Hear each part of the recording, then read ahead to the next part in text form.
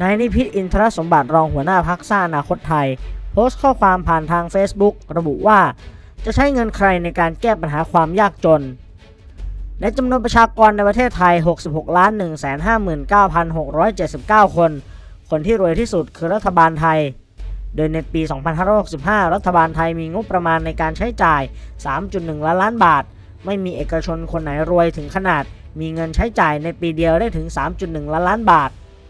สมมุติว่าเวลาเลือกตั้งเราได้เงินจากนักเลือกตั้ง 500 บาท แต่เราต้องรออีก 4 ปีจึงจะได้อีก 500 บาท เวลา 4 ปีเท่ากับ 1,460 วัน ดังนั้นถ้าเราได้เงินจากนักเลือกตั้ง 500 บาท 4 ปี เฉลี่ยแล้ว เราได้เพียงวันละ 34 สตางค์เท่านั้น เงินวันละ 34 สตางค์ที่ได้จากนักเลือกตั้งไม่มีทางแก้ปัญหาความยากจนได้ แต่การใช้เงินของรัฐ 3.1 ล้านล้านบาทต่อปีอย่างมีประสิทธิภาพ ด้วยนโยบายที่ดีของรัฐบาลเท่านั้น ที่จะแก้ปัญหาความยากจนของประชาชนได้ ก็อยู่ที่เราจะเลือกใครให้เป็นผู้ใช้เงินนั้น